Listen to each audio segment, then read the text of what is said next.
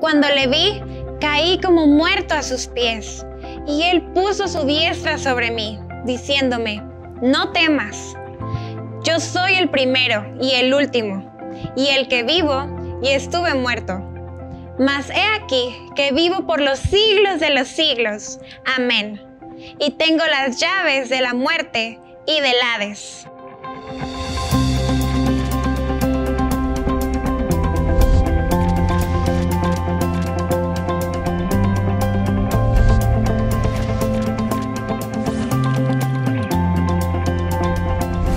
¿Podrías imaginar el cristianismo si Jesús hubiera venido a morir pero no hubiera resucitado?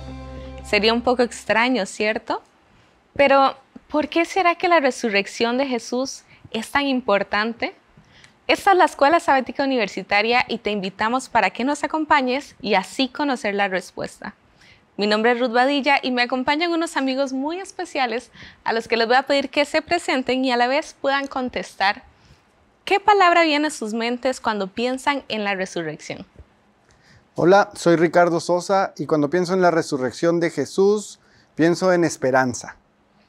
Hola amigos, yo soy Noemí y pienso en triunfo. Soy Ciprián Mojora y pienso en salvación. Yo podría agregar también regocijo. Sabemos que la resurrección de Jesús nos da todo esto que acabamos de mencionar y vamos a profundizar un poco más en esta lección número 7, pero para hacerlo vamos a invitar a Ricardo para que pueda orar. Vamos a orar. Padre eterno que estás en el cielo, Señor, te agradecemos porque en este momento tú estás con nosotros y tenemos la gran promesa de que tú darás vida y que das vida eterna.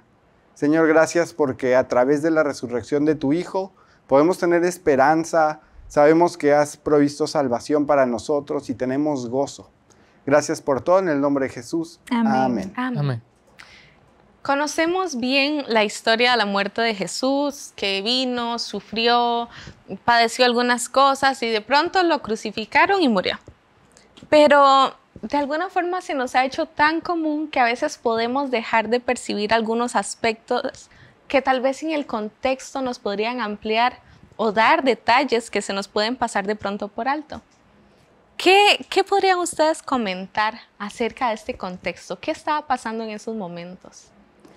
Sí, especialmente los libros de Lucas y Juan en la Biblia eh, nos dan detalles de los días finales o los momentos finales. Entonces cuando vemos que Satanás logró instigar a Judas para que traicionara al maestro, cuando vemos que los sacerdotes y ancianos exigían su muerte, cuando vemos que cuando Jesús fue arrestado, los discípulos huyeron, cuando vemos que Pedro lo negó tres veces y cuando vemos a Jesús yaciendo en una gran tumba tapada con una gran piedra, em, rápidamente relacionamos ese hecho con fracaso y debió haber sido algo muy difícil para esos seguidores de Jesús y que de pronto esperaban ese reino glorioso aquí en la tierra, que su, su presidente, diríamos actualmente, su futuro candidato a la presidencia, de pronto muriera. Pero ¿será que Jesús no sabía todo esto? ¿Él no habría dejado alguna advertencia para sus seguidores? Pensando en sus seguidores, Jesús defraudó muchas veces las esperanzas que ellos pusieron en Él, porque ellos pusieron falsas esperanzas en función de un reino terrenal. Entonces nosotros sabemos que Jesús vino para instalar otro reino. Pero aún así la muerte no era el fin del camino. Y Jesús varias veces le advirtió, les hizo saber por medio de palabras, pero también por medio de milagros, que Él tenía potestad sobre la muerte, que la muerte no era el final, que eso no iba a acabar así, que la victoria, como tú dijiste, el triunfo, no se iba a alcanzar solo en en una tumba, sino que había algo que le seguía a esa tumba. Interesante. Aún así pasaron algunos acontecimientos que de pronto nos muestran a esas personas intentando ocultar o que de alguna forma esas advertencias, si era que llegaban a ser ciertas, no se pudieran hacer y, y esa gran piedra y los guardias extras custodiando la tumba. Pero, ¿cómo esto luego llegó a representar más bien evidencias de la resurrección.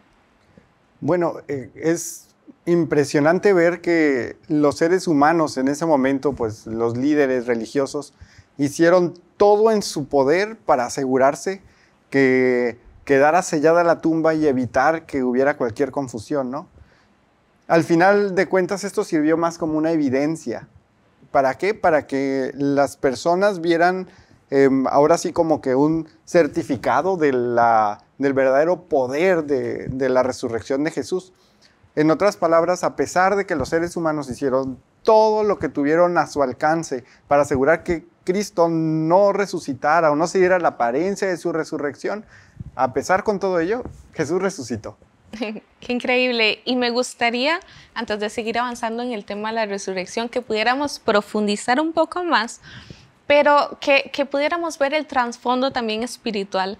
¿Qué lucha había y quiénes estaban involucrados? Entonces voy a compartirles a cada uno de ustedes un versículo para que puedan leerlo y nos puedan decir quiénes estaban también detrás. Vamos a comenzar con Noemí, por favor, si pudieras leernos Mateo 28, 2. Claro, dice de la siguiente manera, de pronto hubo un gran terremoto porque un ángel del Señor descendió del cielo y acercándose removió la piedra y se sentó sobre ella. ¿Quién puedes ver que estaba también ahí interviniendo? Un ángel. Interesante, los ángeles estaban siendo parte entonces de todo, de todo este evento. Chipri, ¿será que nos pueda leer Juan 10, 17 y 18? Claro, por eso me ama el Padre, porque yo pongo mi vida para volverla a tomar. Nadie me la quita, mas yo la pongo de mí mismo. Tengo tengo poder para ponerlo y tengo poder para volverla a tomar. Ese mandamiento recibí de mi Padre. Entonces podemos ver claramente la implicación del Dios Padre eh, en ese momento. Exacto, y para ver quién más estuvo por acá presente, Ricardo, ¿podrías leernos Romanos 8:11? Claro que sí. Dice, y si el espíritu de aquel que levantó de los muertos a Jesús mora en vosotros, el que levantó de los muertos a Cristo Jesús vivificará también vuestros cuerpos mortales por su espíritu que mora en vosotros. Eh, aquí podemos ver que también el Espíritu Santo estuvo involucrado en la resurrección de Jesús. Es algo impresionante. A veces se nos olvida que incluso ahora en nuestros días estamos en medio de un conflicto cósmico, que hay seres, que hay criaturas que no podemos ver. Y así como estaba el ejército bueno, todos, todos involucrados, los ángeles activos, el Padre, el Espíritu Santo, también tenía que haber una contraparte. Y nos damos cuenta cuando vamos a, a Mateo, el capítulo 28, si vemos los versículos del 11 en adelante, vamos a encontrar esta parte de que los guardias estaban ahí dando noticias de que al parecer Jesús había resucitado y entonces se reunieron los ancianos y un consejo y dieron mucho dinero a los soldados. Vemos personas que estaban siendo manipuladas por Satanás y sus ángeles para entonces contrarrestar toda la obra que se estaba haciendo.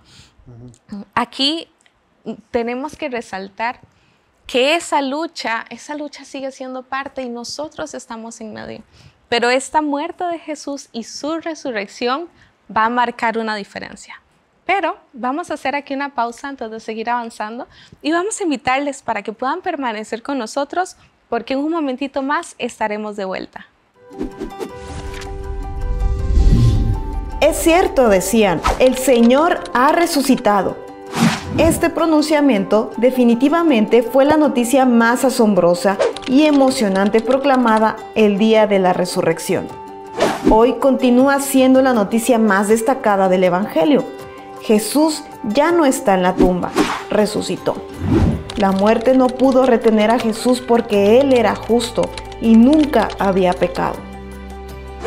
El cristianismo se centra en la vida que recibimos de Jesús porque Él murió por nosotros. Como Él vive, puede aplicarnos todo lo que logró en la cruz mediante su ministerio intercesor en nuestro favor. Sórbida es la muerte en victoria, 1 Corintios 15:54. Luego Pablo escribe sobre el glorioso y triunfante grito de victoria. ¿Dónde está, oh muerte, tu aguijón? ¿Dónde, oh sepulcro, tu victoria? Alabado sea el Señor porque esta victoria sobre la muerte se da a los fieles en Cristo Jesús. Cuán agradecidos debemos estar. Gracias por seguir con nosotros. Vamos a continuar analizando este hecho de la resurrección de Jesús. Y vemos en la Biblia que cuando Jesús muere ocurre un terremoto y cuando resucita también ocurre un terremoto. Pero hay algo interesante que registra la Biblia que sucedió con su muerte, con ese primer terremoto. ¿Alguno de ustedes podría comentar qué fue lo que pasó? Claro que sí, para eso podemos leer en el libro de Mateo, el capítulo 27, versículos 51 al 53.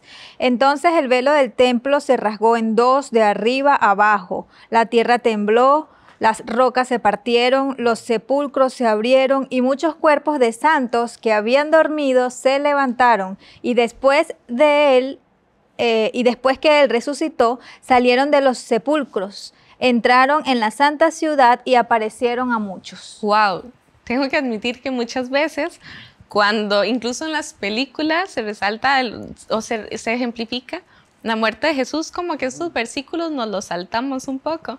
Y casi nunca hablamos de estos santos que resucitan, pero ¿quiénes serán y, y por qué fue que resucitaron?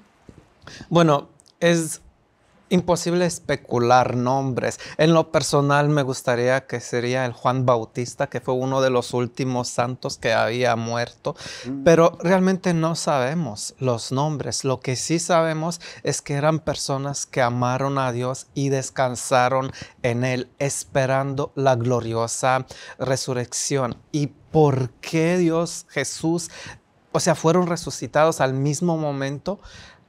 Hmm es para que tengamos una primicia, para que tengamos una esperanza más para la segunda venida, cuando todos los muertos van a resucitar. Es básicamente un acto que Dios lo hizo en favor y para dar un testimonio más hacia la veracidad del ministerio y de la resurrección de Jesús. Muy interesante y me gusta lo que dice el versículo 53. Ellos salen y van a la santa ciudad y aparecen a muchos. Nos damos cuenta que ellos iban a testificar de, de todo esto que estaba pasando y como dices ahora, dar testimonio de este sacrificio que estaba pasando. Pero, ¿por qué será que, que esas personas resucitaron? O más allá de eso, ¿Cuál sería la diferencia entre esas personas y las que Jesús resucitó mientras estaba en su ministerio aquí en la tierra? Bueno, de hecho, si uno estudia a detalle otras resurrecciones de las que ya ha hablado la lección en ocasiones anteriores, eh, nos damos cuenta que en todas ellas, eh, quizá la resurrección que sucedió a mayor tiempo después de la muerte fue la de Lázaro, y eso fue solamente tres días. Sin embargo, la resurrección este, que sucedió en ese momento, como dijo Ciprián, es posible que hayan sido personas que recién acababan de morir o quizá de muchos años anteriores, ¿no? Esto este, viene a ser bien interesante o bien importante para algo que vamos a hablar más adelante seguramente, así que quédense con nosotros. Y parte de ello tiene que ver con que estas personas resucitaron para ser un símbolo de una resurrección que va a pasar más adelante. Y en la resurrección final, durante el retorno de Jesús, pues las personas van a vivir de nuevo para no morir ya más. Y la Biblia da señales a través de, todo el texto de que estas personas resucitaron para no morir, comparado contra las otras resurrecciones que resucitaron y vivieron más, pero finalmente murieron. Claro. Claro, porque de pronto uno se pone a pensar en los que resucitó Eliseo y Elías que vimos hace unos días atrás, que no decían en la época de Jesús que todavía estaban vivos después de no sé cuántos siglos. Entonces, esas resurrecciones fueron como muy temporales. Y quisiera compartir un poquito lo que se encuentra en el libro El deseado de todas las gentes, que nos amplía y nos confirma esta idea que nos das que esas personas fueran resucitadas para vida eterna y luego ascendieron con Jesús como trofeo de su victoria sobre la muerte y el sepulcro. Así que, bueno, si les queda por ahí alguna duda a ustedes o las personas que nos ven, pueden buscar ese libro, pueden leer todo el capítulo para ampliar, pero necesitamos seguir avanzando. Y es que existieron otros testigos también. Noemí, ¿cuáles otros testigos eh, estaban ahí? E incluso, ¿quiénes fueron las primeras personas que vieron a Jesús resucitar? Me encanta tu pregunta porque como mujer yo soy feliz al irme al libro de Mateo, el capítulo 28, y ver que em, Jesús en primer lugar se le apareció fue a una mujer. Eh, tanto amor que nos tiene el Señor y si ahora mismo alguna mujer está viendo esto con el corazón entristecido por algo, pues es propicio el momento para recordarle cuán valiosa es para Jesús. Y allí mismo, aparte de describir a María Magdalena y algunas otras mujeres, también se nos afirma que se le apareció a Pedro, a otros dos discípulos que iban camino a Emmaús y así sucesivamente sigue el relato. Ok, pero ¿a quiénes más? ¿Será que solo sus discípulos, solo esas personas cercanas vieron a Jesús cuando resucitó? Bueno, yo como hombre soy muy feliz porque la Biblia dice que se le enseñó a más de 500 hermanos. Bueno, pero para ser honesto, ese término incluye también hermanos de fe. Ah, entonces se le enseñó a ese grupo. Después al mar de Galilea se le enseñó de nuevo, se le apareció de nuevo a, los discípulos. Después tuvo una charla pastoral con Pedro en cual le encomendó el crecimiento de la iglesia le, y la misión ¿no? que tenía para él. Pero lo que me gusta es que Pablo, aunque no estuvo en el momento de la resurrección, él mismo se considera un testigo de Jesús. Y en un sentido más extendido, nosotros que leemos la Biblia, también somos llamados a ser testigos de su resurrección ante el mundo. Muy interesante. Y, Ricardo, ¿qué será lo que nos enseña esto? Tal vez un poco más aplicado a nuestros días. ¿Cómo ese ejemplo nos tiene que servir a nosotros también? Bueno, tomando el ejemplo de Pablo es muy interesante y, todos los discípulos, la iglesia temprana en ese momento, la resurrección de Jesús sirvió como el, combustible que necesitaba la iglesia para ir adelante y es un mensaje impresionante. Y yo creo que lo mismo debemos hacer nosotros, debemos ir y compartirlo este, porque es una noticia excelente para todos nosotros. Muy bien. Antes de seguir avanzando, el día miércoles de nuestra lección trae una pregunta que creo que tal vez algunas personas que nos ven tal también puedan tenerla.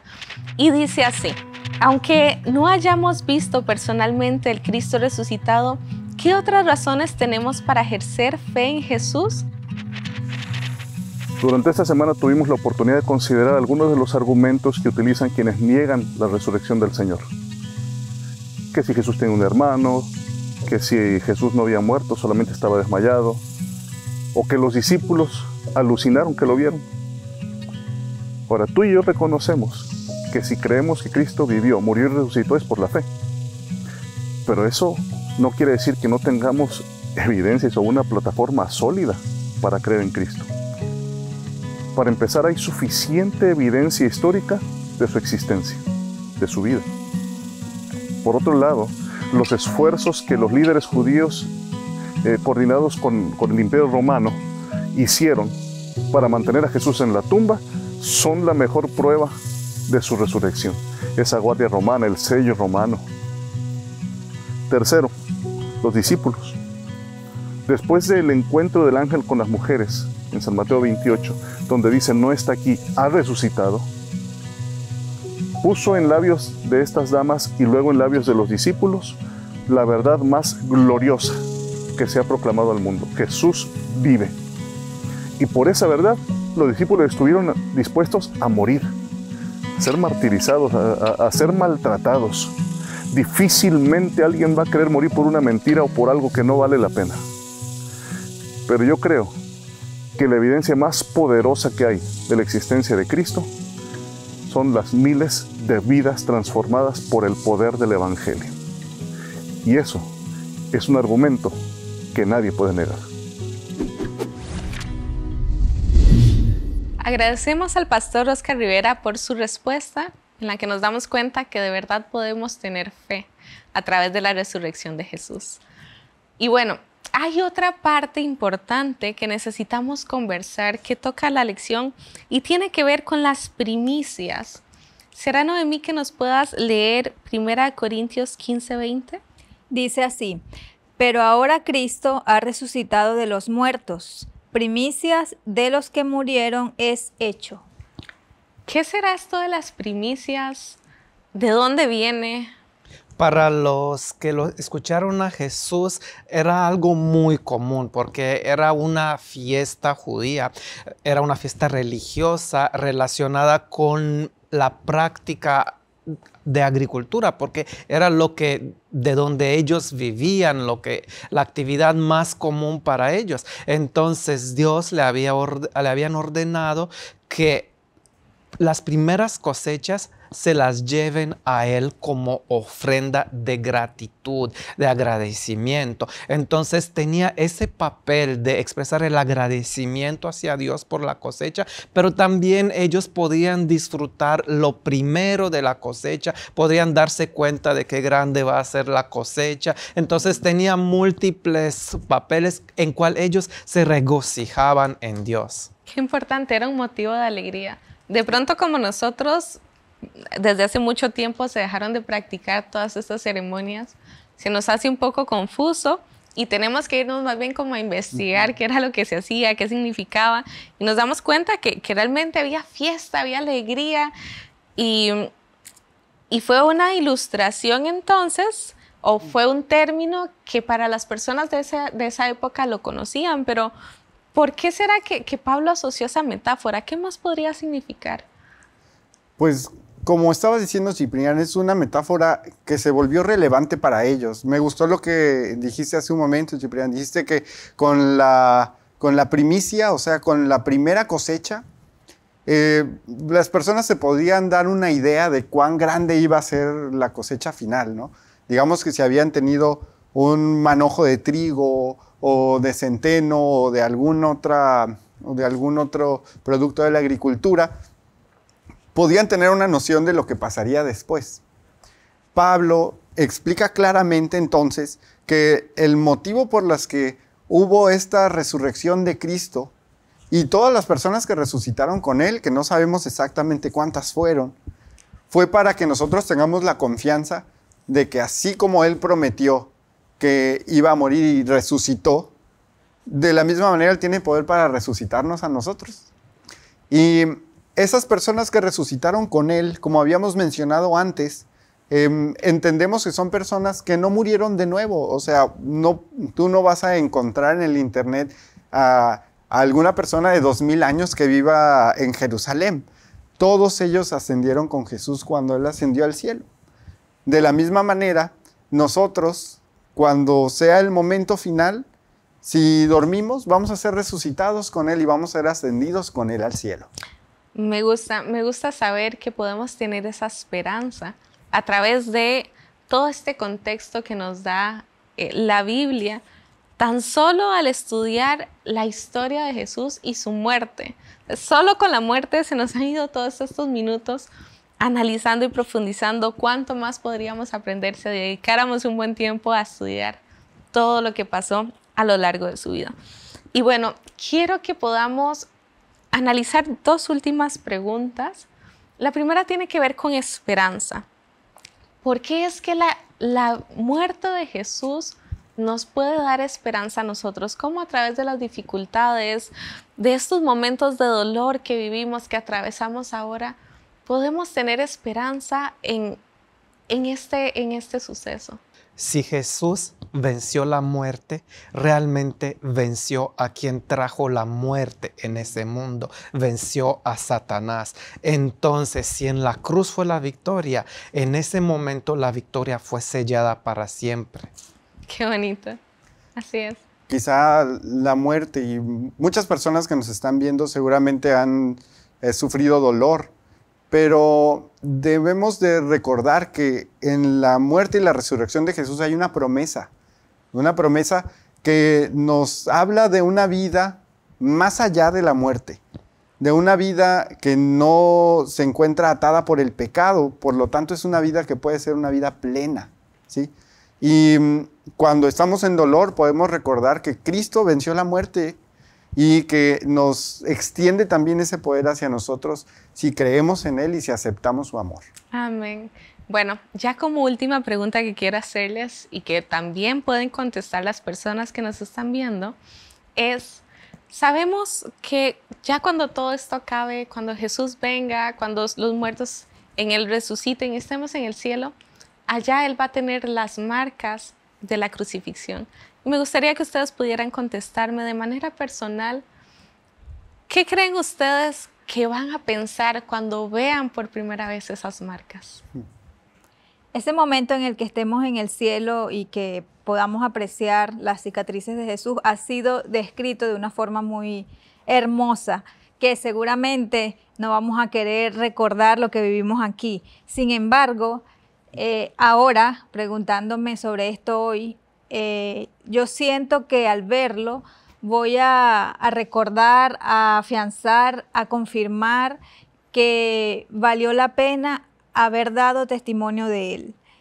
Eh, ante las burlas, ante los ataques, ante las ofensas, ante las persecuciones que han de venir, que no hemos experimentado eso todavía.